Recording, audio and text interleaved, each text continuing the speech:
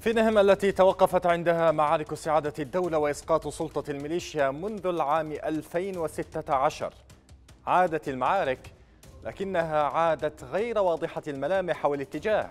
فبينما كان البعض يتحدث عن انطلاق معركة استعادة صنعاء جاءت الأخبار لتشير إلى سقوط معظم مواقع الجيش الوطني هناك بيد ميليشيا الحوثي. ولا تزال المعركة قائمة.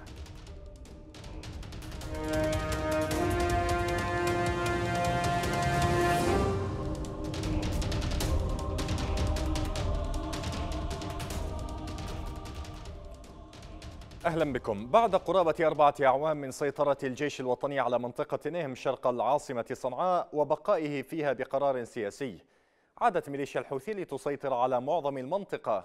ويعود الجيش الذي كان على مشارف صنعاء للدفاع عن مأرب. أطلقت ميليشيا الحوثي عملية عسكرية واسعة في ظل تواجد المبعوث الأممي وعدد من السفراء الأوروبيين في صنعاء. وهو ما يجعل البعض يرى أنها عملية ذات علاقة بجهود تصفية القضية اليمنية التي يتم العمل عليها إقليميا ودوليا. يرى هؤلاء أيضا أن موقف التحالف الغامض تجاه المعركة في نهم لا يفسره سوى أن هناك توجها لتصفية الجيش لأنه حسب رأيهم سيبقى يمثل معيقا لأهدافهم في المحافظات الجنوبية.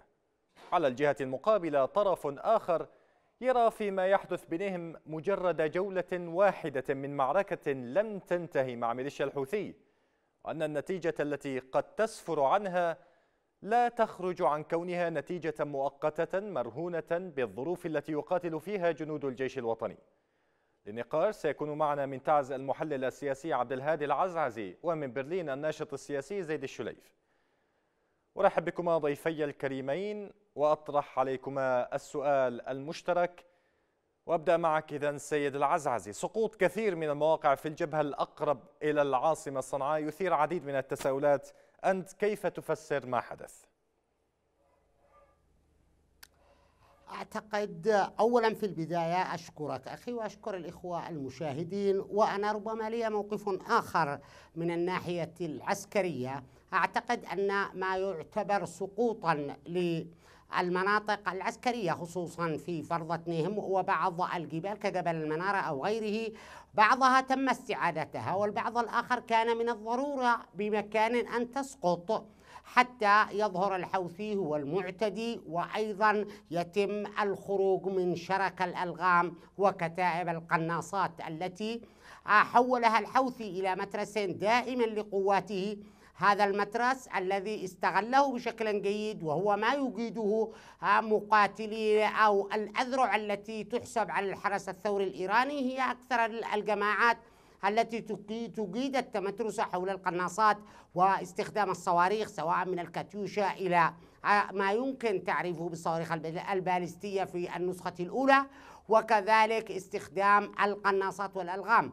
هذه هذا المترس الحديدي الذي استغله الحوثي وصد بموكبه جميع هجمات الجيش الوطني كان يجب أن يتم استدراجه للخروج من حالة التحصين إلى حالة المواجهة. تم الانسحاب أمامه كما قالت وزارة الدفاع تكتيكيا ليعود إلى الخلف وتم الدفع بمقاتلين بأعداد كبيرة لاحتواء هذا الموقف.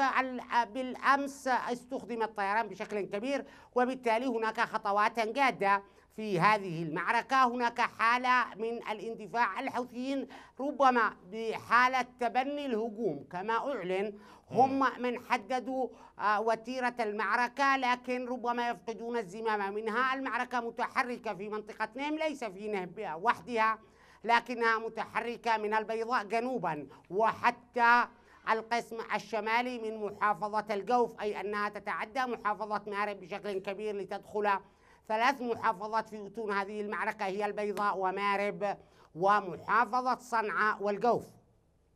طيب أطرح ذات السؤال المشترك لضيفي الآخر آه، السيد زيد الشليف الذي ينضم لنا عبر السكايب من برلين. أرحب بك سيد آه، آه، الشليف. إذا سقوط كثير من المواقع وعدد من المواقع في الجبهة الأقرب إلى صنعاء يثير كثير من التساؤلات. كيف أنت تفسر ما حدث؟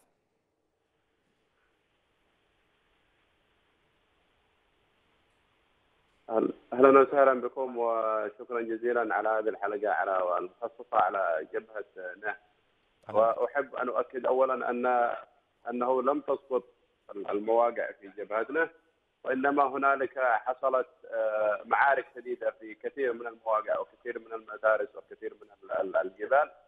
آه، أضطر الجيش الوطني في بعض المواقع إلى الانسحاب بشكل بسيط لكن الكلام عن سقوط نهم بيد الحوثيين كلام مبالغ فيه لأن نهم أساسا لم تحرر سابقا. الجيش الوطني تقدم في قبل أربع سنوات إلى معسكر فرضتنا وإلى جبال ميمنة نهم في جبال يام وفي على الميسرة في جبل المنارة وقرود وقتب وهذه المناطق. والهجوم الذي أرادته ميليشيات الحوثي منذ ستة أيام سببه هجوم إعلامي بأن نعم سقطت وأن الحوثيين أصبحوا على أبواب مأرب وانساق وراءهم للأسف الكثير من الابواق الإعلامية وروجوا لهذه الإشاعات ويوم أمس تم قطع الاتصالات على الجيش الوطني وللأسف أنه بعد خمس سنوات من الحرب مع الميليشيات الحوثية ما زالت الاتصالات بايديهم آه، فمن الطبيعي أن يتجسسوا على الجيش الوطني وتم قطع الاتصالات على أبناء الجيش الوطني وتم التشويش على بعضهم في آه، بالاتصالات أن عليهم الانسحاب. هنالك حصلت بعض الإشكالات لكن أؤكد لكم أن الجيش الوطني آه، ما زال إلى الآن في جبال فرض نعم مستمر يواجه بكل بسالة ويبادر الآن بالهجوم على المواقع التي تسللت ميليشيات الحوثي إليها والجيش الذي استطاع أن يتحرك من من مأرب قبل خمس سنوات وهو محاصر في أقل من كيلو متر مربع اليوم لا خوف عليه وهو يخوض المعركة في جبال نهب التي لا تبعد أكثر من 20 كيلو متر عن عن محافظه عن العاصمة صنعاء. ولا اتكلم عن صنعاء النهم هي تتبع صنعاء أنا اتكلم عن مركز العاصمة صنعاء. أصبحنا اليوم نرى المركز من مدينه نهم. إذا نحن نتكلم عن صنعاء ونتكلم عن لكن هذا الحديث سيد سيد الشليف هذا الحديث هذا الحديث جرى منذ أربع سنوات منذ العام 2016 تقريبا. الحديث عن معركة صنعاء. الآن هناك الحديث إن يعني إن لم تعتبر آه، آه، ما حدث سقوطا لهذه المواقع لكن الحديث الآن على حماية المواقع في مارب حماية مارب وليس دخول صنعاء.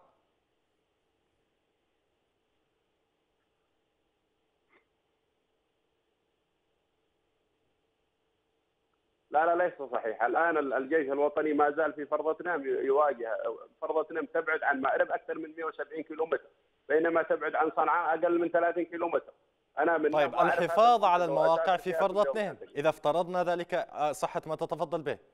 يعني كانت المعركة منذ أربع سنوات الحديث عن دخول صنعاء الآن الحفاظ على المواقع في فرضة نهم كيف تفسر ما يحدث؟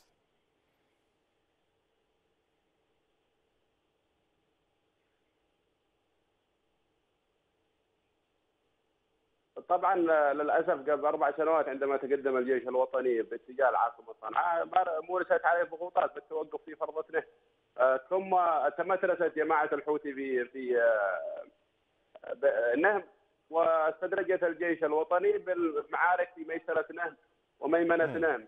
دخلت المعارك في جبال شاسعة وفي مناطق واسعة. فاضطر الجيش بدلا من التقدم باتجاه صنعاء إلى تغطية آه، الميمنة وتغطية الميسرة. وكلما تقدم الجيش باتجاه صنعاء كلما فتحت جبهه خاصة نحن نتكلم عن مناطق واسعة جدا من الجبال آه، التي تربط نهم بالجوف وتربط نهم ببني حشيش من الخلف. عندما نتكلم اليوم عن إن الجيش الوطني يطرق أبواب بني حشيش نحن لا نتكلم عن إن الجيش تعدى نقل بن غيلان وإنما من جهة حريب نهم لأن بني حشيش ونهم هي منطقتان متجاورتان والآن الجيش الوطني في منطقة حريب نهم صاحب المبادرة وهو على بعد آه، أقل من كيلومترات من أول مناطق بني حسين. فالجيش تعرقل صحيح في البداية ربما بضغوطات من قبل التحالف أو من قبل الحكومة أو أو من آه، ضغوطات دوليه لكن في الفترة الأخيرة حاول الجيش وتقدم في عدة مناطق. ولكنها طبيعة الحرب تتقدم أحيانا وتضطر للتراجع أحيانا. ولكن أؤكد لك أن الجيش لن لن لن يسلم بهذه السهولة. وإن العيون ما زالت على صنعاء وإن موعدهم صنعاء وكل من تواصلنا بهم وكل من تكلمنا معهم عيونهم على صنعاء ومسألة فرض اثنين ليست إلا معركة من معارك الوصول إلى صنعاء. ما رأيك سيد العزاز يعني حين تبدو النتائج الآن متناسبة مع الظروف يعني في نهاية المطاف الجيش الوطني يقول الكثيرون ويقول ربما سيد الشريف الجيش آه، آه، آه، يعني لا يمتلك هذه الدعم المناسب كما يقول الكثيرون أيضا هذه الظروف بحد ذاتها تكفي لأن يحصل ما حصل في في في نهم. لكن هناك من قبلكم أيضا تحميل آه، آه، أطراف خارجية مسؤولية ما حدث. ما الذي آه، يعني يراد من الخارج عمله فيما يتعلق بالمعركة في نهم؟ أعتقد أن المعركة في نهم اليوم هي ذات صاحبة قرار كقرار كقرار داخلي لكن هنالك آه، توافق وتغطية من الإخوة في المملكة العربية السعودية بدليل حركة قيادة العمليات المشتركة وهي ما تمثل ربما المملكة العربية السعودية من جانب. هذا جانب لكن الأهم في المسألة أن أن نقص الإمكانيات نقص العتاد نقص نقص ربما إلى ما لا نهاية لكن لا يوجد نقص في المعنويات. هذا الجيش وضع أمام تحدي أمام تحدي كبير اندفاع القبائل يومنا هذا آه، باتجاه إسناد الجيش عبر إعلان نكف قبلي في محافظة مارب. وامتدت إلى المحافظات الجنوبية تعكس أن هنالك قوة شعبية كبيرة خلف الجيش وأنه مصمما على كسر المعادلة. وأن الخيارات أصبحت لدى الحكومة صنعاء أولا بدلا من التوقف والتمترس عند نتائج اتفاق الرياض الذي لن يصل إلى حد ولن يكون له أفقا وزادت فيها المزايدات ووصلت إلى حد أن أن الاتفاق شبه مجمد حاليا. في المحافظة الجنوبية وأن هناك خيارا جديدا أعتقد أن الإخوة السعوديين يراهنون عليه كثيرا. وفي نظري أعتقد أن الأيام القادمة سوف تؤدي إلى إسقاط اتفاق ستوكهولم وقد تنفجر الأوضاع في الحديدة. هكذا مهيأ للشارع. هكذا تأخذ كل الأطراف تمترساتها.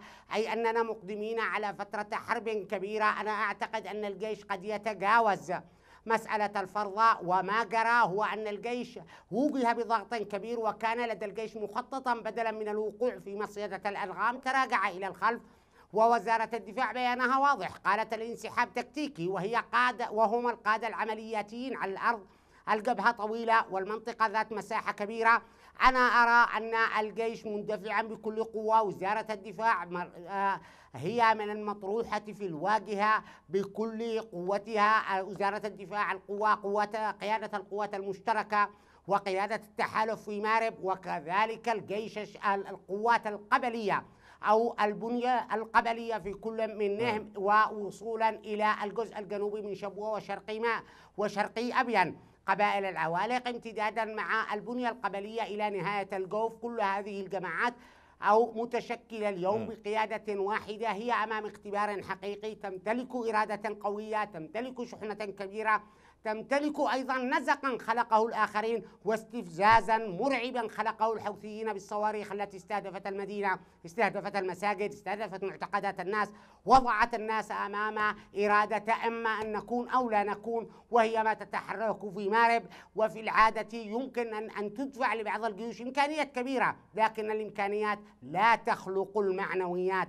التي تخلق الإرادة إما أن نكون أو لا نكون. وهذا ما هو مطروح اليوم على الجيش في في نهم وشرقي صنعاء بشكل عام. هذه المنطقة اليوم قد تلتهب اليوم وغدا وربما لمدة أسابيع.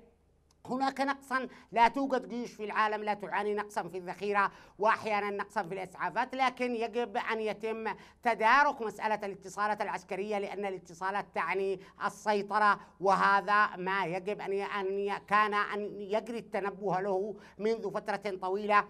ربما من الأخطاء الكبيرة التي ارتكبتها الشرعية أن تركت منظومة الاتصالات بأكملها بيد الحوثيين في صنعاء وهذا خطأ قاتل يجب استدراكه وبأسرع وقت ممكن. يعني لا نفهم منك سيد العزعزي قيادة سياسية آه، بدور سيء كذلك تحالف بنوايا مختلفة أو غير واضحة أو آه، آه، غير مفيدة لمن هم في في نهم طيب كيف يمكن الخروج من من هذا المأزق إذن؟ لا أعتقد أن هناك مأزق التحالف غطى بشكل كبير خصوصا أمس غطى التحالف بشكل كبير استهدف مواقع استهدف تحركات كانت الخطة ناجحة إلى حد كبير في استدراج الحوثيين في إخراج هؤلاء المتحصنين داخل الجحور إلى منطقة مفتوحة من السهل استهدافهم بالمدفعية من السهل أيضا استهدافهم بالقذائف البعيدة من السهل استهدافهم بالطيران. الطيران أدى دوره كشفت المخازن اللوجستية للحوثي في منطقة بني حشيش كشفت أيضا في في نهم أصبح أمام مرأى السيطرة على بعض الجبال واستحداثها تحريك القضية في مسألة جبهة نهم وفي هذا التوقيت بالذات وفي هذه اللحظة بالذات هي نوعا من مسألة خلق تحدي. وأعتقد أن المنطقة الشرقية وأبناء كل من البيضاء ومارب والجوف وقوات الجيش المتواجدة والتي بعداد كبيرة وإن كانت تنقصها بعض الإمكانيات لكنها قوة صلبة أصبحت أكثر خبرة ست سنوات وهي في الميدان ست سنوات وهي في حالة تدريب دائم ست سنوات وهي في حالة قتال دائم. لذلك هذه القوة لا أعتقد أنها سوف تكسر بسهولة كما يتصور البعض داخل منطقة جغرافيا شرسة جداً. جغرافيا هي شرسة جدا وربما العامل الأكبر لصالح من أبناء يعني أنت متفائل سيد العزازي. طيب سأنتقل إلى نقطة أخرى. سأنتقل إلى نقطة أخرى مع الضيف الآخر السيد الشليف. يعني فيما يتعلق بالأحداث في أو العمليات الأخيرة خلال الأحداث الأخيرة سيد الشليف برزت شخصية شخصية صغير بن عزيز قائد العمليات المشتركة أو ما تسمى بالعمليات المشتركة فيما يتوارى كما يبدو دور وزير آه، الدفاع وقائد هيئة الأركان أيضا هذا الأمر ينظر له كثيرون على أنه تأكيد واضح بأن التحالف يسعى فعليا لتصفية الجيش الوطني وإحلال قوات مكان قوات وإحلال رموز بدل رموز ما رأيك؟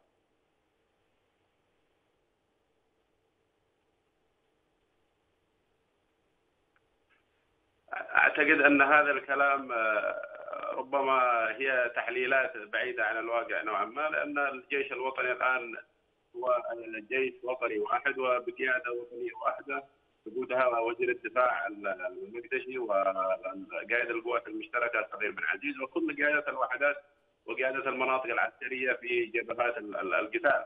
إذا حصل أي تراجع أو انسحاب من بعض المواقع فهذا لا يعني أن هنالك تصفية حسابات بين القيادات وإنما ربما رأت القيادة أنه من الأفضل أن تنسحب من من تلك المناطق التي آه، تقاتل فيها خاصة وأنها مناطق آه، صعود الوصول إليها بالإمداد صعب جدا. الوصول إليها آه، الإسعاف الجرحى منها صعب جدا. قد يستغرق الجريح إلى أن يصل إلى إلى نقطة الإسعاف أكثر من ست إلى سبع إلى ثمان ساعات. ربما رأت القيادة أن هذه المناطق ليست مناطق مناسبة لاستمرار المواجهات فيها خاصة وأن الميليشيات لدي الميليشيات من الجهات التي تواجه فيها لديها خطوط إمداد. وهذا للأسف ما لم آه، تقوم به قوات الشرعية التحالف في الفترات الماضية. لم يصلوا إلى كل المواقع ولم يصلوا إلى كل المدارس والدعم للأسف لم يكن دعم كافي للتقدم نحو صنعاء ربما كان هنالك دعم لكنه دعم للحفاظ على البقاء. وليس دعم من أجل التقدم نحو صنعاء. والآن ونحن نواجه حلول الإمامة في جبال وديانه من المفكر جدا أن نقول أن ما يجري هو تصفية لهذا القائد أو ذاك أو تصفية لهذه الوحدات أو تلك مقابل وحدات أو أو قوات أخرى. اؤكد لك أن قيادة الجيش الوطني قيادة واحدة موحدة والعمليات المشتركة مع وزارة الدفاع مع قيادة المناطق في آه، انعقاد دائم اليوم وأمس المساء. ويديرون المعركة بشكل مستمر وبتنسيق واحد. وهي قوات واحدة أساسا التي تتبع القوات المشتركة ووزارة الدفاع، ليس هنالك قوات خاصة بالقوات المشتركة وقوات خاصة بوزارة الدفاع. نحن نتكلم عن جيش وطني مشكل من كل القوى الوطنية من كل المناطق اليمنية من كل قرى الجمهورية اليمنية يخوضون معركة الجمهورية على سباب وشعابه وبإذن الله يعني النصر قريب بتكاتف وتضافر جهود اليمنيين كلهم. طيب وأنت تتحدث عن دور التحالف، قيادة التحالف تتمثل بالمملكة العربية السعودية، الجبير يؤكد في منتدى دافوس على أن الوزير السعودي الجبيري يؤكد في منتدى دافوس على أن السعودية لن تسمح بوجود حزب الله جديد على حدودها الجنوبية. هذا يعني أو يوحي على الأقل أنها ليست السعودية ليست في وارد التخلي عن الشرعية والجيش الوطني لأن هذا الأمر سيشكل خطر عليها. لماذا آه، يعني تلقي بالمشكلة إذا على التحالف؟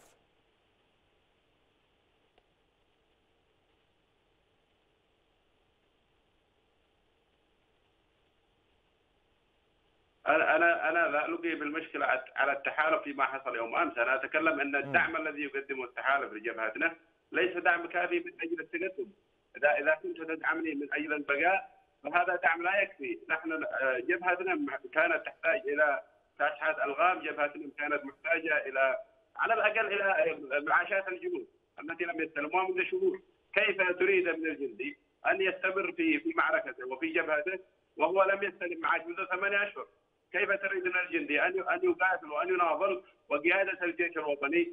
لا لا لا تهتم بجرحى الجيش والمقاومة. بعض الجرحى تعفنت جراحهم لم يتم علاجهم. هذا ليس كلام التضبيط أبناء الجيش الوطني والمقاومة وإنما هي حقائق أدت إلى ان ان نصل إلى بعض النتائج. نتكلم عن آه، جندي لا لا يجد ما يعود به أسرته. يذهب إلى إلى العمل بدلا من أن يذهب إلى المواجهة. وهو في في نفسه يتمنى أن يكون في مقدمة الصفوف المواجهه الحوثي لكن لا لا يملك الامكانيات. هنالك من الشباب من يبيع سلاح من من من, من ملكه الخاص من أجل الذهاب إلى الجبهة. هذا لا يعني إنه كما ذكرت إنه لا يوجد دعم، هنالك دعم لكنه دعم ليس دعم كافي للتوجه إلى صنعاء وليس دعم كافي من أجل التحرير، إذا كان هنالك دعم كافي وقرار سياسي صادق فأنا أضمن لك أننا خلال أسبوع سنكون في التبعين وفي التحرير. الجيش الوطني الذي الذي دحر ميليشيات الحوثي من كل معارك من كل جبهات الجمهورية قادر على أن يدخل صنعاء. وهنالك قوات وشباب قادرون على أن يتحدوا جبال الناب، هنالك جبال على الجبال. لكن يحتاجون إلى الإمدادات، يحتاجون إلى الإمكانيات الإمكانيات التي تعينهم على التقدم، ليس الإمكانيات التي كالذخيرة أو البنادق الكلاجنكوف. نتكلم عن معدات متطورة. الحوثي يواجه هناك سلاح دولة كشفها آه، من الألوية التي سلمت له في الفترات الماضية. يواجه بذخائر دولة. يواجه بأسلحة تهرب من من السواحل. ومن الحدود اليمنية من دول مختلفة من الجوار. الحوثي يواجه بصواريخ اليوم تستهدف ماذا تستهدف اليوم تستهدف كل مكان. أين صواريخ؟ لماذا لم يمكن الجيش الوطني من أن يطلق من فرض على معسكرات الحوثي في صنعاء؟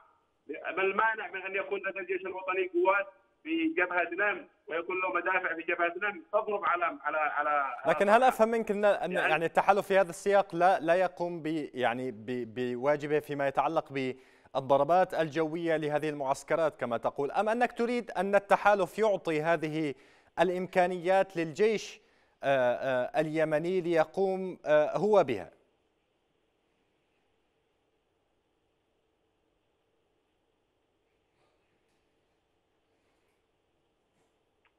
لم أسمع السؤال آه، تماما لكن يعني ربما بالنسبة أنت تتحدث عن آه، عدم إمكانية عدم إمكانية الجيش الوطني على ضرب المعسكرات الخاصة بميليشيات الحوثي المتواجدة في صنعاء وغيرها من مناطق سيطرتها. لكن التحالف يعلن بين حين وآخر عن ضرب لهذه المناطق لهذه المعسكرات بالطيران. ألا يكفي ذلك أم أن المسألة هي يحت يعني أن يمتلك الجيش الوطني هذا السلاح والمدفعية التي تستطيع آه، ضرب هذه المعسكرات.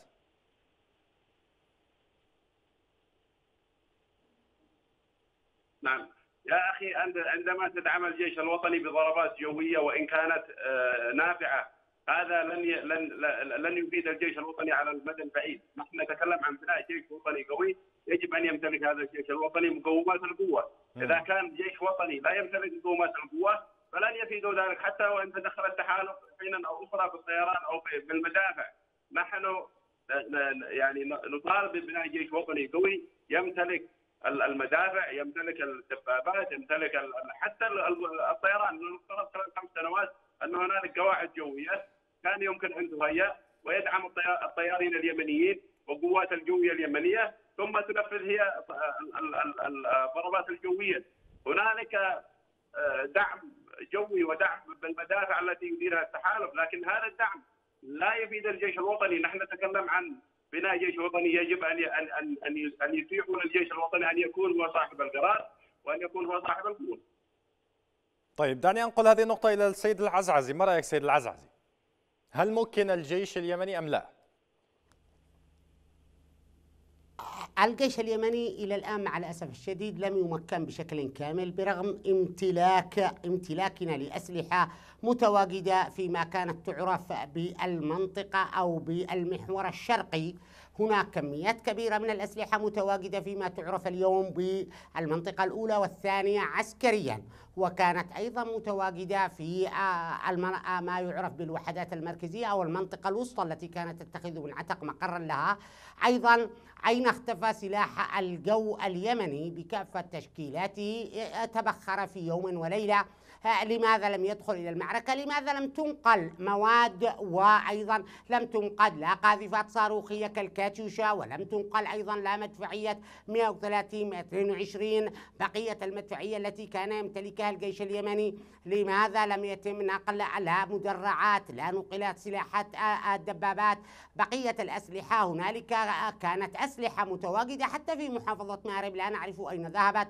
استهدف الطيران قسما كبيرا منها. لماذا لم تقدم وأنا لا أطلب هنا من التحالف لكن أطلب من القيادة الشرعية ممثلة بالأخ وزير الدفاع ممثلة بالأخ نائب رئيس الجمهورية نائب القائد الأعلى ممثلة بالأخ رئيس الجمهورية القائد الأعلى للقوات المسلحة هذا جيش بلد وداخل منطقة بها آلاف من القبائل المسلحين. لماذا لا يتم التعامل مع هؤلاء؟ هنالك عروضا قدمتها الصين هناك عروضا قدمتها روسيا لكن لماذا لا يعني لماذا لا تحمل التحالف من المسؤولية سيد العزازي؟ لأن التحالف لا الجيوش في نظري أنا وهي وجهة نظر شخصية لا تبنى بالإعانات يا أخي. الجيوش ليست جمعيات خيرية قوى الدولة الخشنة لا تبنيها المساعدات ولا تبنيها الإعانات. قوى الدولة الخشنة تبنيها السلطات السلطات الوطنية هي من تبني هذه الجيوش. عليها إما أن تتقدم بقروض لديها صلاحيات ببناء قروض بطلب إما إما قروضا أو ما يسمى بقضايا تبادل أو منح مقدمة.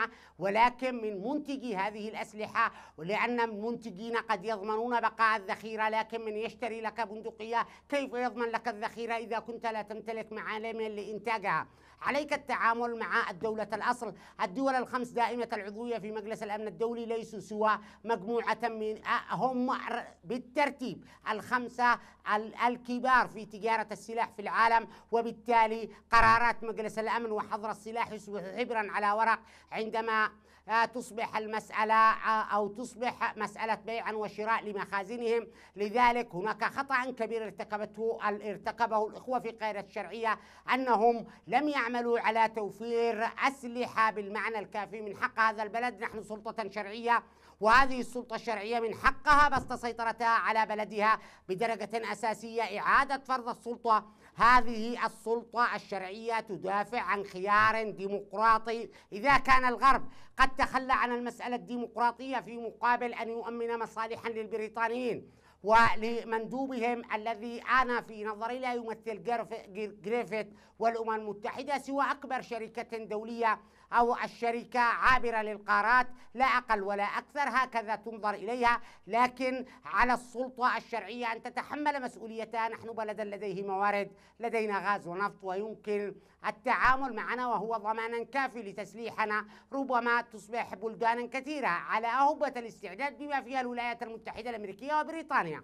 بدرجة أساسية لكن نحن كجيش من حيث البنية والتسليح والتدريب حسبنا على الدول الشرقية وبالتالي فنحن مرتبطين أردنا أم لم نرد بكل من بالذات جمهورية روسيا الاتحادية وجمهورية الصين الديمقراطية الشعبية. طيب فيما يتعلق بال يعني الحديث الدولي عما يحدث في في نهم الحديث أيضا يعني الآن هناك سفراء بداخل صنعاء سفراء دول أوروبية مارتن جريفيثس هناك. أسألك سيد الشليف آه، كيف تقيم مسألة ال ال يعني الموقف الدولي مما يحدث هناك في في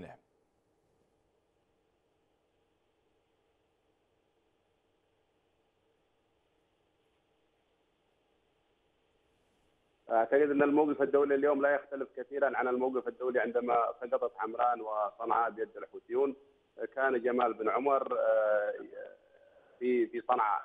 اليوم آه، تزامنت هجمات الحوثي الشديده على جبهتنا مع زيارة جريفيث. وكأنه لكن جريفيث يقول أنه يدعو لضبط النفس وخفض التصعيد في نهاية المطاف. هو يدعو لضبط النفس عندما يدعو لضبط النفس عندما يكون الحوثيون هم صاحب ال ال ال عندما يكون الحوثيون في موقف ضعف يدعو لضبط النفس لكن عندما يكون الحوثي هو صاحب المبادرة فهو ينتظر ماذا سيحققوه ويعطيهم المهلة حتى ينظر ماذا سيفعلون. لذلك كان الحوثيون آه، هجموا هجوم هستيري على من كل الجهات قبل زيارة جريفيث من أجل أن يحققوا نصرا ولو بسيطا ودفعوا بمئات الجثث من أبنائهم آه، وهذه المرة ربما من من العملة الصعبة التي آه، خسروا عليها في تدريبها وتجنيدها على أيدي إيرانيين وسوريين. دفعوا بهم إلى فرضة نهم وكانت فرضة نهم مقبرة جماعية لهم. آه، لكن أتوقع أن الموقف الدولي لا يريد لنا ان لا لا يريد ان أن نتقدم ولا يريد لليمن أن تنحل مشكلتها، إذا لم يكن الحل بيد الجيش اليمني ولم يكن الحل بيد القيادة الشرعية اليمنية فلن تصل اليمن إلى حل، لا حل مع الحوثي إلا بالطريقة التي وصلتها إلى صنعاء، لا حل مع الحوثي إلا بالسلاح وهذا ما لم تسمح به الأمم المتحدة، أما حلول السلام فلم تدخل الأمم المتحدة في بلد وتحل مشكلته بل زادته دائما. لكن لكن آه، حتى حلفاء يعني أنت تتحدث عن الدول الكبرى لكن حتى حلفاء آه، آه، اليمن أتحدث هنا عن التحالف. المملكة العربية السعودية كما قلت لك يقول وزيرها الجبير على أن السعودية أيضا في ذات المسألة ليست مؤمنة إلا بحل سياسي.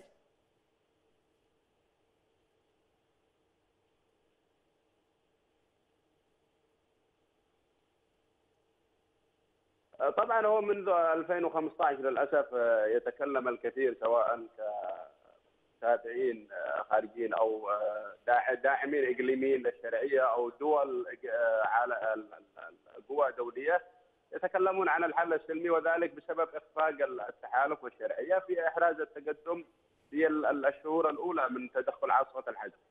كان يمكننا أن نحسم المعركة في بداية في أول سنة عسكريا كلما تأخر الحسم العسكري كلما أصبح آه، أصعب من قبل لكن اليوم الفرصة سانحة أمام الجيش الوطني وأمام القيادة الشرعية وأمام قيادة التحالف بأن يعطوا الضوء الأخضر للجيش الوطني والدعم الكافي. وأنا أضمن لك أن الجيش الوطني قادرا على أن يحقق السلام بطريقته وقادرا على أن يخضع الحوثي وقريفت وكل القوى إذا كان صاحب القوى وصاحب المبادرة في الميدان. نعم. طيب أنقل النقطة هذه إلى السيد العزعز السيد العزعز يعني يتحدث وزير الخارج يعني وزير شؤون الخارجية السعودي فيما يتعلق بأن هناك معارك من حين إلى آخر يمكن وضع ما يحدث في نهم في هذا السياق لكن اليمن تتجه إلى حل سياسي هل ترى وفق ما يحدث الآن في نهم وهذه المواجهات أن فعلا اليمن أن الحل السياسي هو ما هو ما سينتقل وهو ما سيعني ما سيحدث في اليمن؟ أعتقد أن كلام القبير حسب ما أفهمه أنا واضحا جدا. الحل السياسي يخرج من أفواه البنادق والمدافع. الحلول السياسية لا تأتي من ذاتها. الحلول السياسية تحتاج جيش يصنع هذه الحلول يفرضها بقوة. حتى حلول الاستسلام. اليابان استسلمت بحل سياسي لكن بعد أن هزمت عسكريا. ألمانيا استسلمت بحل سياسي بعد أن هزمت عسكريا. العالم كله يستسلم بحل سياسي. على الإخوة في الخليج أن يعوا ذلك. على الإخوة في الخليج أن يعوا أن هذه الفترة هي الفترة الوحيدة التي يمكن أن تعطيهم وضعا تفاوضيا إقليميا أمام إيران. عن عليهم أن يعوا أن مقتل سليماني يجب أن أن يستغل بشكل كامل إذا أراد إذا أراد هؤلاء أن يفرضوا أمانا على شبه الجزيرات العربية بشكل عام. على الإخوة في المملكة العربية السعودية أن يدركوا ذلك وأن لا يتقاعصوا على الإخوة في المملكة أيضا أن يدركون إما أن يتواجهوا مع حلفائهم في عدن مع الإخوة مع الإخوة في الإمارات العربية وأيضا المجلس الانتقالي الجنوبي أو يدفعون بقوة باتجاه استعادة استعادة نهم من أجل تحريك المسألة الداخلية. الحوثي يسعى إلى أن يتقوى في موقفه التفاوضي وهو يدرك أيضا أن المسألة لا يجب أن يبقى جنوب المملكة العربية السعودية خصوصا أن الإرادة البريطانية. البريطانية تريد أن يبقى الحوثي إلى ما لا نهاية يبقى مسيطرا ويبقى أشبه بكيس دهني كبير قد يؤدي إلى موت النظام السعودي إذا ظل قائما في محافظة صعداء البريطانيين لا يهمهم المسألة لكن يهمهم هل هناك إمكانية أن يتحول الحوثي إلى إرهاب؟ في منطقة البحر الأحمر يؤدي إلى تغيير في تعريفة البوليصة الدولية للتأمين على النقل البحري. هذا ما يهم البريطانيين وهذا ما يبحث عنه جريفيث والذي يتعامل مع مع كل مع الحوثيين كأنهم مولودا شرعي للدول الواقعة غرب أوروبا تحديدا من ألمانيا مرورا بفرنسا وبريطانيا. هؤلاء محتضنين هذه الحركة بشكل كامل مكاتبها أدواتها عندما توغل في قتل اليمنيين لا أحد يتكلم. عندما يجري تصفية ما حدث في مارب هذه الصواريخ وهذا الكم الضخم جدا لم يهز لهؤلاء شعرة. لأن المسألة أيضا هم اليوم أسقطوا اتفاق ستوكهولم. أسقطت كل الإمكانيات. جرى الهجوم وسفراء الاتحاد الأوروبي وممثل الأمين العام داخل صنعاء. ما وجود هؤلاء؟ هذه المنظمة لا لكن رئيس ما يسمى بالمجلس السياسي للحوثيين. سيد العزعزي يقول الآن أن ما يحدث من ضربات آه، آه، يعني كما يقول أنها تدعم يعني الجيش الوطني كما تسميه فيما يتعلق في آه، ما يحدث في نهم الآن الضربات السعودية ضربات التحالف هذه ستؤثر على المبادرة التي كان الحوثيون قد قاموا بها أو قالوا أعلنوها فيما يتعلق بعدم استهداف الأراضي السعودية. كيف يعني يعني أين تضع ذلك في سياق ما يحدث؟ يا سيدي عدم استهداف المملكة العربية السعودية هو كان الخوف من أن يتدخل الأمريكان بدرجة أساسية في ضرب هذه الحركة كما ضرب سليماني وقائد الحرس الثوري وقائد ميليشيات الحشد الشعبي في العراق. هذا ما يخافه الحوثي أو ما يخافه قناديل الحوثي الذين يشكلون الطبقة القيادية. هذه الجماعة انخفضت أمام السعودية وعادت تستهدف الجيش الوطني. هذا الاستهداف ربما يرضي بعض الأطراف الداخلية السيئة الصيت والسمعة وبهم بعضهم حلفاء للشرعية مع الأسف الشديد ويرضي البقية داخل الجزيرة العربية الذين أصبحوا يخافون من وجود جيش يمني. يريدون دولة ولا يريدون جيش. يريدون ثنائيات متناقضة بشكل كبير. لا يمكن أن يصنع استقرار في هذا البلد الموقع الاستراتيجي على خط التجارة الدولية ما لم تتواجد قوات مسلحة نظامية قوية ومجهزة بشكل جيد. على الإخوة في المملكة أن يعوا أنهم أمام طرق صعبة. على الإخوة في الشرعية أن يتحركوا خطوة واحدة إلى الأمام بقوة أكبر. ما يجري اليوم في نهم أنا من هنا أحيي الجيش في نهم بأفراده بأفراده أفرادا بصفتهم وأسمائهم. هذا الجيش الذي منذ سبعة أشهر بدون رواتب. هذا جيش العسرة لا رواتب لا إمكانيات لا اتصالات. هذا جيش خارق.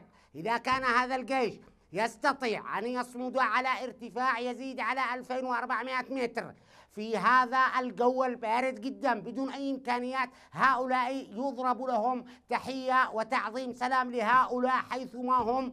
وأعتقد أن المسألة ليست سوى عدة أيام من الصبر فقط لا غير ربما تسقط جماعة الحوثي من ذاتها. هذه الجماعة أسففت في امتهان اليمنيين في امتهان إمكانياتهم وقدراتهم ومع الأسف الشديد على الإخوة في التحالف العربي أننا وصلنا إلى مرحلة صعبة جدا. إما أن يدعموا هذه السلطة الشرعية بكل طيب انطلاقا من هذه النقطة سأعود إلى تفاؤلك سيد عبد الهادي. سأعود إلى مسألة التفاؤل وعلى ما تبنية نعم لكن في في فيما يتعلق بهذه النقطة دعني أسأل السيد زيد الشليف فيما يتعلق بالموقف السعودي وهذه التصريحات آه، مرة أخرى للجبير التي يقول فيها هم يقبلون بوجود الحوثيين لكنهم لا يقبلون بوجود حزب الله جديد على واقع ما يحدث في نهم في أي سياق تفهمها أنت؟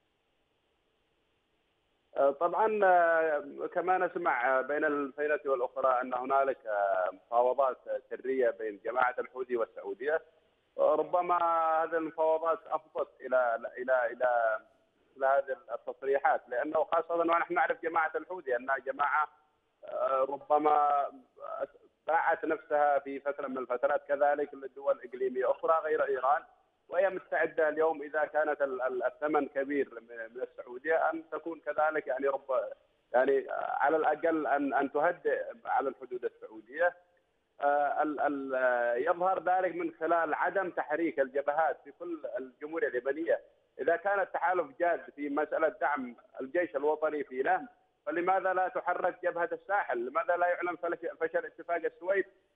ولماذا لا تحرك جبهات المنطقة الخامسة؟ لماذا لا تحرك الجبهات في تعز في كل مناطق الجمهورية؟ إذا نحن نتكلم عن عن موقف آه، وصمت مريب من من قبل التحالف ومن قبل قيادة الجيش اليمني إلا من بيان سطر آه، في آخر آه، الليل أمس من وزير وزارة الدفاع.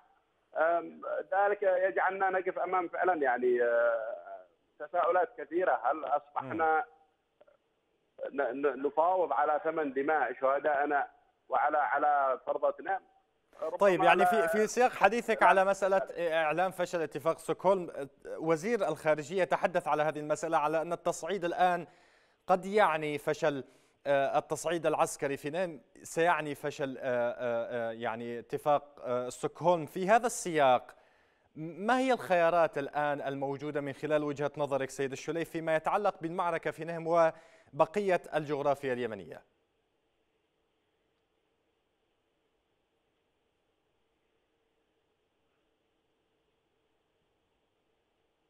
الخيار يا أخي الكريم أن يعو جيدا أن المفاوضات لم ولن تجدي نفعا مع الحوثيون سواء كانت مفاوضات محلية أو مفاوضات إقليمية أو مفاوضات دولية. يجب أن يتحرك الجيش الوطني يجب أن تتحرك قوات الشرعية يجب أن يتحرك قيادات الشرعية بجميعهم أن يتواجدوا في الميدان مع أفرادهم مع قياداتهم أن يتحركوا باتجاه صنعاء من كل الجبهات. وأنا يعني أجزم أن الجيش الوطني قادر على صناعة المعجزات اليوم، الجيش الذي كان يواجه وكل ثلاثة أفراد يواجهون بكلاشنكوف واحد اليوم قادر على أن يدخل صنعاء. إذا كان هنالك دعم بالمدرعات والدبابات وكاسحات الألغام والمدافع ذاتيه الحركة والتغطية الجوية. اليوم إذا كنا نريد حل سياسي فيجب علينا أن ندخل إلى صنعاء على ظهر المدافع والدبابات. وسيأتي الحوثي إلينا راغما عن أنفه بالحل السياسي وسنكون نحن صاحب القوة ونحن صاحب الكلمة. لا مجال اليوم للتفاوضات والمفاوضات ولن تجدي نفعا سواء اليوم أو غدا أو بعد سنة أو بعد خمس سنوات سنجد أنفسنا مضطرين إلى أن نكون صاحب قوة في الميدان. إذا لم يتقدم التحالف ويدعم كل الجبهات للتقدم إلى صنعاء فلا فلا جدوى من الكلام عن مفاوضات ولا جدوى من الكلام عن عن صنعاء ولا جدوى من من الكلام عن السلام في اليمن إذا لم يكن هنالك قوة تحفظ السلام وقوة تفرض السلام. سيد العزعزي من وجهة نظرك ما, ما الذي ستحمله الأيام آه، القادمة؟ أعتقد أنا عندي تفاؤل كبير أن الأيام القادمة سوف تحدث تغيرات كبرى. سوف تحدث تغيرات. الحوثي أنا أعتقد أنه يدخل مرحلة انتحارية وايا كانت ايا كانت العوامل. فقط ما امله أو أتمناه أن يوجه الأخ وزير الدفاع دعوة إلى كافة الجبهات بالحركة بامكانياتها الموجودة. عليهم أن يقتصروا في الذخيرة إلى أدنى حد ممكن عليهم أن يعودوا إلى الأيام الأولى لذكرى المقاومة عندما تحرك الناس لا يمتلكون إلا بعض الأدوات البسيطة من آل كلاشينكوف وبنادق الحرب العالمية الأولى. البنادق التي تحتاج عملية إعادة تعمير كل مرة مع إطلاق كل رصاصة منها على الجميع أن يعود إلى هذه النقطة على الجميع أن لا يفقد ثقته بنفسه.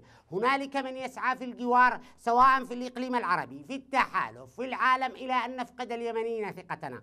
علينا أن لا نعطي الأمم المتحدة أي من الثقة. الأمم المتحدة فشلت في الصومال فشلت في ليبيا.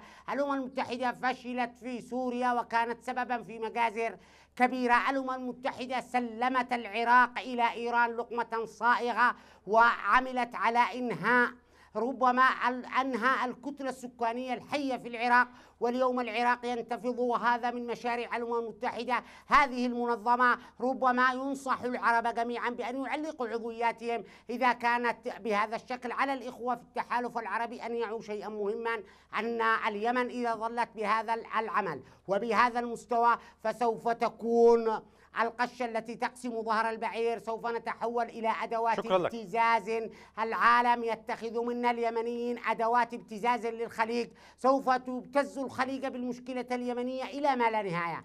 هناك ابتزاز هناك تركيع. نحن أيضا يظل نظل في حالة ثوران مخيف. لماذا نكون أداة لابتزاز الخليج؟ لماذا لا يغلق الملف اليمني حتى لا يتم ابتزاز الإخوة في دول الخليج العربي وعلى رأسهم المملكة العربية السعودية؟ اليوم يجري الابتزاز بأكثر من اتجاه. ربما الوضعية السخيفة التي تتكلم عن حكاية قرصنة وغيرها وصل الغرب بحالة الإسفاف في الابتزاز إلى شكل فظيع. لماذا يتم تقديم أو نعطي الآخرين ظهورنا ولا نحسب مشكلاتنا في الداخل؟ وهو التساؤل الأكبر لماذا لا يحسم الملف في اليمن كما قلت سيد العزعزي شكرا لك من تعزي المحلل السياسي عبد الهادي. العزعزي كنت معنا بالأقمار الصناعية من هناك والشكر موصول أيضا للناشط السياسي زيد الشليف كان معنا عبر السكايب من برلين. الشكر موصول لكم مشاهدينا الكرام على حسن المتابعة والإنصات. في ختام هذه الحلقة تقبلوا تحياتي وتحيات طاقمي العمل الفني والتحريري. إلى اللقاء.